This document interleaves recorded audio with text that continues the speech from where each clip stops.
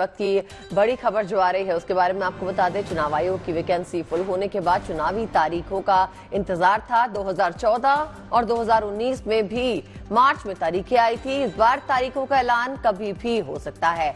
आज या कल चुनाव की तारीख आने की अटकलें हैं। कल ही आनंद फानन में दो चुनाव आयुक्तों की नियुक्ति हुई। ज्ञानेश कुमार और सुखबीर संधू को मुख्य चुनाव आयुक्त राजीव कुमार के साथी बनाया गया। दोनों चुनाव आयुक्तों ने कार्यभार संभाल लिया और अब आयोग बैठक करेगा, समीक्षा करेगा और ये तय होगा कि तारीखों का ऐलान कब हो। चुनाव तैयारी की बैठक और इस बैठक में ये डिसीज़न लिया जाएगा कि ये तारीखों का ऐलान कब किया जाना है। इस आयोग की बैठक में ये समीक्षा होगी कि तारीखों का ऐलान कब होगा और आजकल में चुनाव की तारीखों का ऐलान होना संभव है।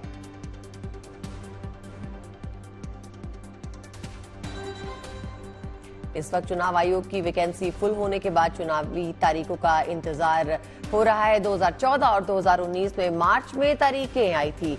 इस बार तारीखों का ऐलान कभी भी किया जा सकता है।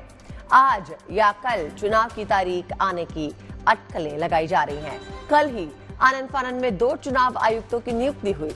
ज्ञानेश कुमार और सुखबीर संधू को मुख्य चुनाव आयुक्त राजीव कुमार का साथी बनाया गया।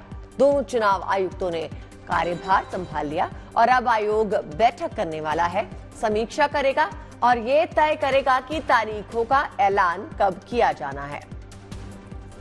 अटकलों के हिसाब से कभी भी तारीखों का ऐलान किया जा सकता है। अगर बात 2014 और 2019 की करें तो तारीखों का ऐलान मार्च में ही किया गया था और अभी हम मार्च के मिड में आ चुके हैं और तारीखों का इंतज़ार हो रहा है फ़िलहाल।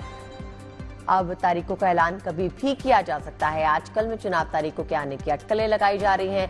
दोनों चुनाव आयुक्तों ने कामकाज कल संभाल लिया और उसके बाद अब यही इंतज़ार है कि चुनाव की तारीखों का ऐलान कब होगा। आज सुबह 11 बजे चुनाव आयोग की अहम बैठक होनी है। बैठक में चुनाव तैयारियों की समीक्षा की जाएगी और हो सकता है इस बात का ऐलान भी किया जाए कि चुनाव कब होंगे। बैठक में चुनाव तारीखों के बारे में समीक्षा होगी और उस पर अटकलें अभी से आ रही हैं कि आज या कल में चुनाव तारीख के जो है उसका ऐलान किया जाएगा।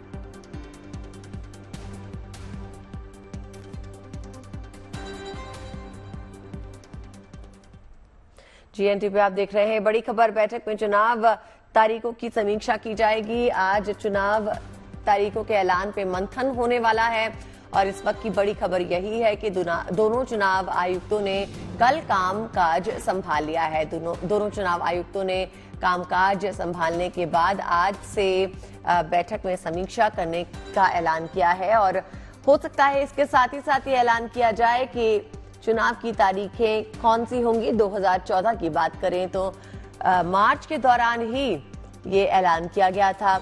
और फिर उसके बाद 2019 की अगर बात करें तब भी मार्च का ही महीना था जब चुनाव आयोग ने ये ऐलान किया था कि चुनाव कब होंगे। और अब एक बार फिर से 2024 में मार्च का महीना और अंतिम मार्च में या तो चुनाव की तारीखों का ऐलान होगा या ये भी अटकलें लगाई जा रही हैं कि आज या कल में ही चुनाव की तारीखों का ऐलान हो जाएगा। आज सुबह ग्यारह बजे चुनाव आयोग की बैठक। नए चुनाव आयुक्तों ने अपना पदभार संभाल लिया है और चुनाव का ऐलान कभी भी हो सकता है। ज्ञानेश कुमार, सुखबीर सिंह संधू ने पदभार कल संभाला। चुनाव आयोग की आज सुबह 11 बजे अहम बैठक की बात कही गई है और बैठक में चुनाव तैयारियों की समीक्षा भी की जाएगी और तारीखों की बात भी हो सकती है और उसके बाद जल्द ही ऐलान होने की संभावना भी। दोनों चुनाव आयुक्तों ने कल अपने कामकाज का भार उठा लिया है। आनंद फानन में कल दो चुनाव चुनाव आयुक्तों ने कल मोर्चा संभाला और कल ही कार्य कार्यभार भी संभाल लिया और शायद अटकलें लगाई जा रही हैं कि ये इसलिए जल्दी हुआ क्योंकि तारीखों का ऐलान होना है और आज सुबह 11 बजे की बैठक के दौरान इस पर बातचीत होगी। चुनाव की तैयारियों का जायजा लिया जाएगा और उसके बाद ऐलान की घोषणा ऐलान किया जा सकता है, चुनाव की घोषणा की जा सकती है। चुनाव का ऐलान कभी भी हो सकता है। इस वक्त की ये बड़ी खबर।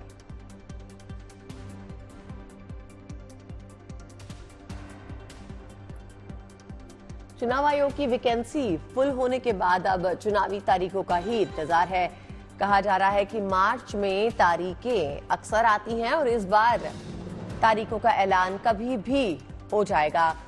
हालाँकि मार्च की शुरुआत से ही तारीखों के ऐलान की बात कही जा रही है, लेकिन फ़िलहाल प्रधानमंत्री कई योजनाओं का शिलान्यास करते नज़र आ रहे हैं और लगातार चुनावी दौरे पे हैं। इस बार तारीखों के ऐलान में कुछ देरी की संभावना है, लेकिन फिर भी आज या कल चुनाव की तारीख तारीख आने की अटकलें लगाई जा रही हैं। कल दो चुनाव आयुक्तों की नियुक्ति हुई, ज्ञानेश कुमार और सुखबीर संधू को। मुख्य चुनाव आयुक्त राजीव कुमार का साथी बनाया गया। दोनों चुनाव आयुक्तों ने कार्यभार कल ही संभाला और अब आयोग बैठक करेगा, समीक्षा करेगा और ये तय होने की संभावना है कि तारीखें कब हो, तारीखों का ऐलान कब हो।